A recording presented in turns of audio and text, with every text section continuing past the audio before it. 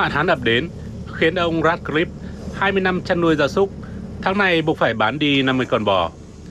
Thiếu nước, các cánh đồng cỏ khô cằn đã tước đi nguồn thức ăn quan trọng của gia súc. Chúng là những con bò mẹ. Lẽ ra chúng có thể sinh thêm một lứa con nữa cho chúng tôi. Nhưng thay vì đợi sinh thêm con, chúng tôi phải bán chúng.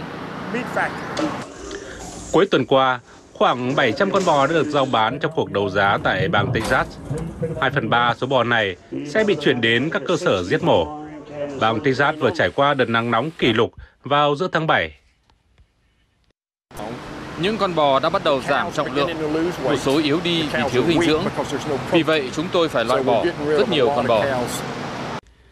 Không chỉ bờ Tây, các bang bờ Đông nước Mỹ như Rhode Island, Massachusetts hay Vermont tháng trước cũng ghi nhận lượng mưa thấp kỷ lục. Người nông dân buộc phải phá bỏ hoa màu vốn được canh tác trong nhiều năm bởi không đủ khả năng chăm sóc. Mùa đông ít tuyết hơn, mùa hè ít mưa hơn. Vì vậy, cây cối rất khó để phát triển xanh tốt.